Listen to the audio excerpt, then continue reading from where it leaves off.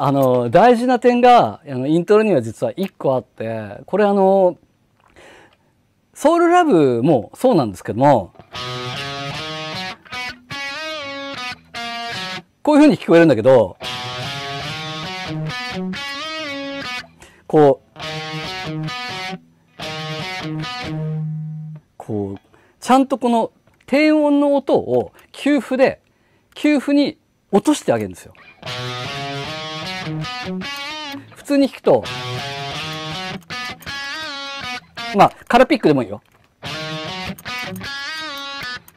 これでも全然あの、バンドアンサンブルの中では普通に聞こえるの。うん。